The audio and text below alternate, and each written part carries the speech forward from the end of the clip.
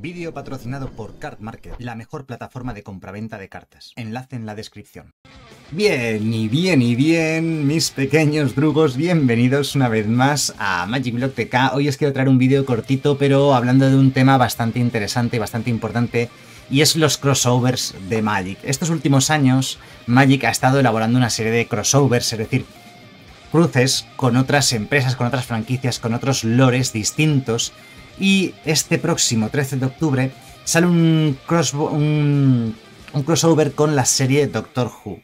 A ver, Doctor Who es una serie que quizás eh, para los hispanohablantes no sea demasiado popular ni conocida, pero es una serie que tiene 60 años, cumple 60 años de hecho este mismo año. Magic ha cumplido 30 este año, bueno pues Doctor Who ha cumplido 60, lleva desde el año 63 emitiéndose en, la televisión británica, con un parón, creo que un parón grande como de 20 años o algo así, pero eh, realmente es una serie que lleva muchísimas décadas eh, entre nosotros. Yo no conozco Doctor Who, nunca he visto a nadie no hablar sobre ello, pero hay fans a muerte de Doctor Who y Magic ha elaborado, pues eso, como digo, una colección específica Doctor Who que sale el 13 de octubre. Muy recientemente hemos tenido este verano pasado la colección del Señor de los Anillos, que ha sido seguramente uno de los mayores éxitos comerciales eh, de la historia de Magic, sin duda. Eh, y desde luego con un impacto brutal. Se ha hablado muchísimo de ello en todos los contextos, no solamente dentro del mundillo de Magic, que es un mundillo pequeño, sino incluso fuera del mundillo de Magic y realmente ha atraído a mucha gente hacia el juego, ha sido un acierto brutal y seguro que el coste que les ha supuesto pagar esa franquicia es pequeño en comparación con lo que han conseguido, así que es una buena noticia para Magic. Hemos visto crossovers recientes con cosas como Walking Dead, ¿vale? La serie de televisión, bueno, los cómics de Walking Dead, pero realmente es con la serie de televisión con la que hicieron el crossover porque los dibujos pertenecían a la serie de televisión o estaban inspirados en la serie de televisión en los cómics.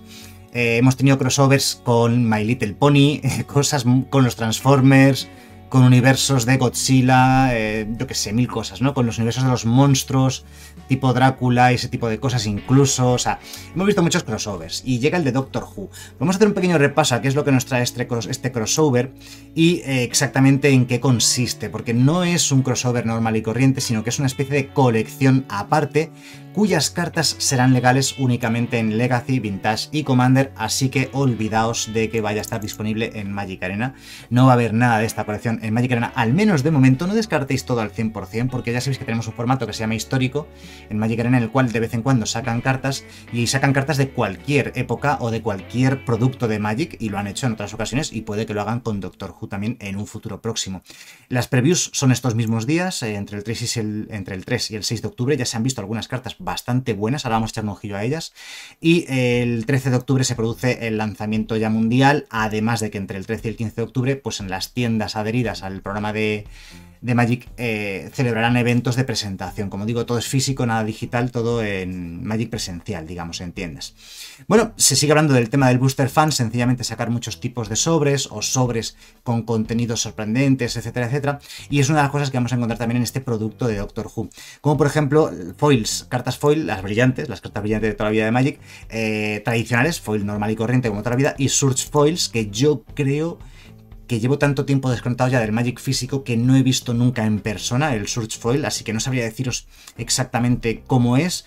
The Fourth Doctor, bueno, no voy a pararme a leer las cartas, ¿vale? Porque estas cartas, como veis, son únicamente legales en formatos muy minoritarios, como son Commander, Legacy o Vintage. Bueno, ojo, Commander de minoritario tiene muy poco, la verdad. Commander dicen que es el, formato más jugado de Magic y seguramente el más exitoso ahora mismo, ¿no? Pero bueno, ya me entendéis lo que quiero decir, ¿no? Sobre todo desde alguien que habla desde la perspectiva de Magic Arena. Este canal se llama Magic Biblioteca, Magic Arena en español.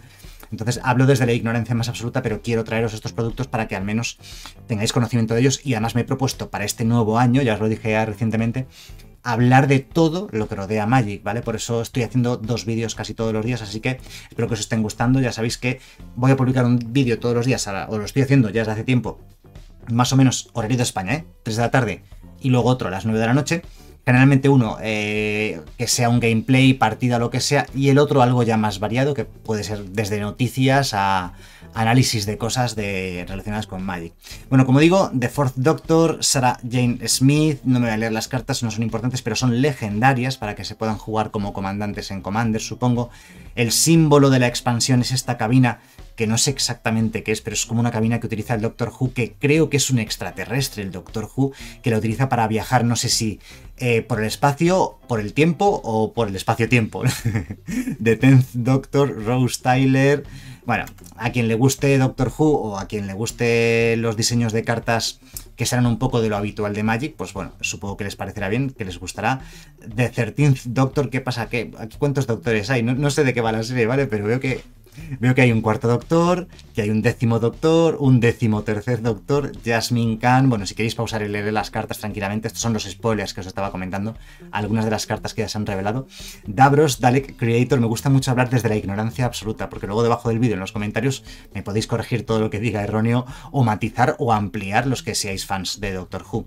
Bueno, pues Davros, Dalek Creator, Missy, todas las cartas que veis son raras y míticas, efectivamente, y estas son cartas que ya existen en Magic Arena, como son Adiós en español, Farewell en inglés, Exterminate, Sol Ring o otra edición más del Sol Ring. Creo que el Sol Ring es la carta va a acabar siendo, porque creo que aún no lo es, pero a este ritmo va a acabar siendo una de las cartas más reeditadas de la historia de este juego.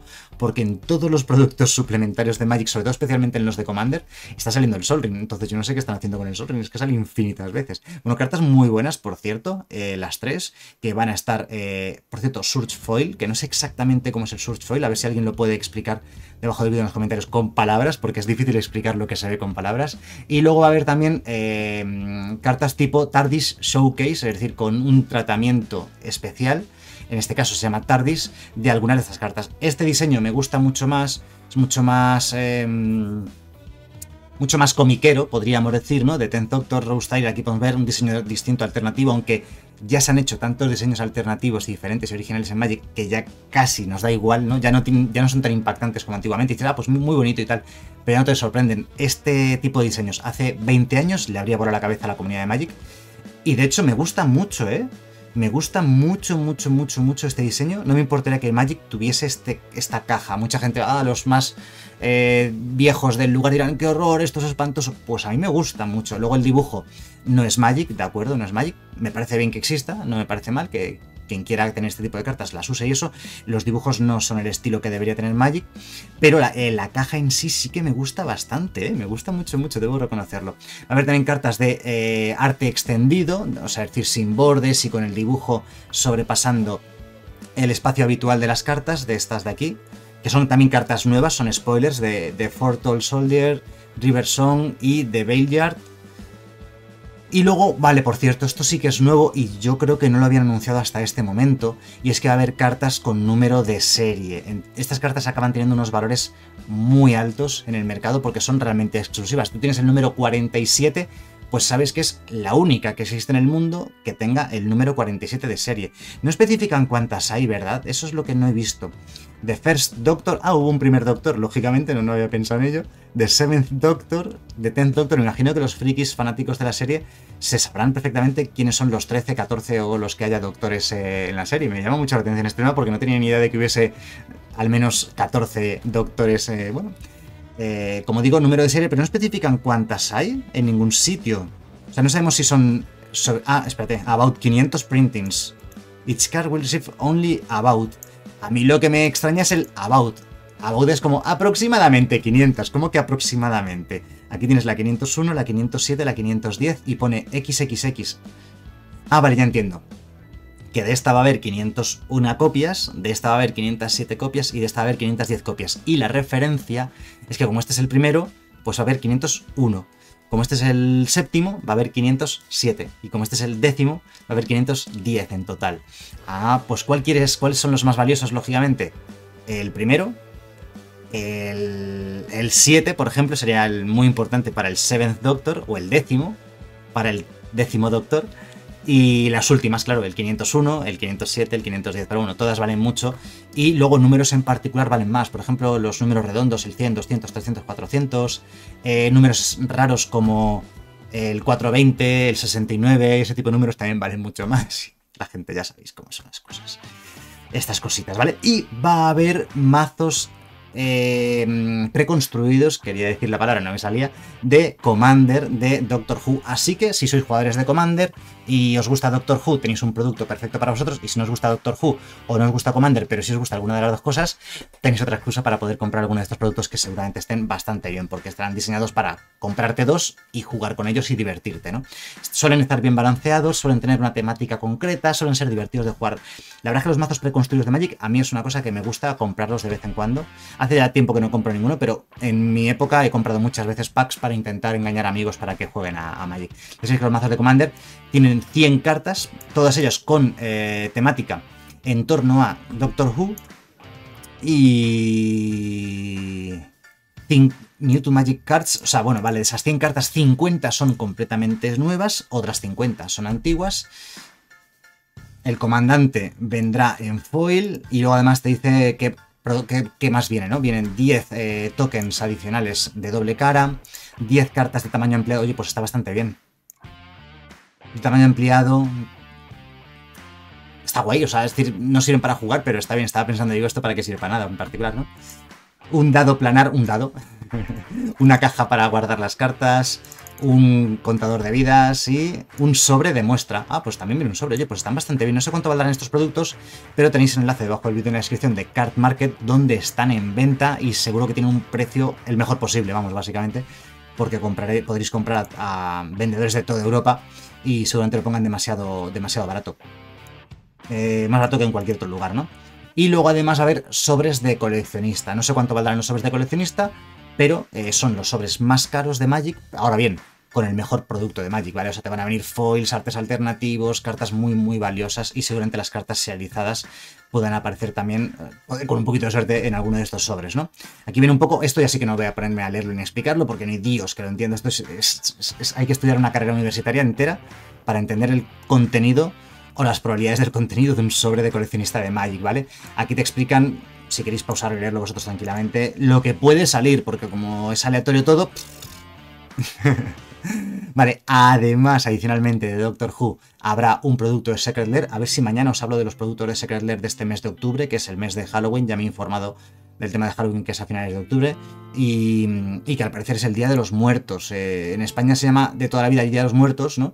Y siempre se ha celebrado, y por, por razones religiosas, Ahora que ya no hay religión, ya ahora es Halloween lo que se celebra en España.